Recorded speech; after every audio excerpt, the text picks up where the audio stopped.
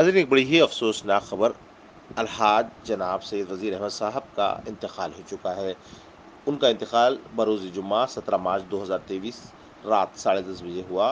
उनकी नमाज़ जनाजा 18 मार्च, हफ़्ते के रोज़, बमुकाम बड़ी मस्जिद, मल्लापल्ली में अमल में आएगी।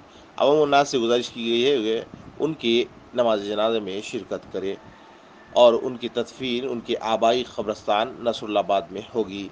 मज़ीद तफसीत के लिए आप double nine eight nine double six three one four eight पर रबता कर सकते हैं। नाजरीन, मैं आपको नंबर फिर एक बार दोहरा दूँ। Double nine eight nine double six three one four eight पर आप रबता कर सकते हैं।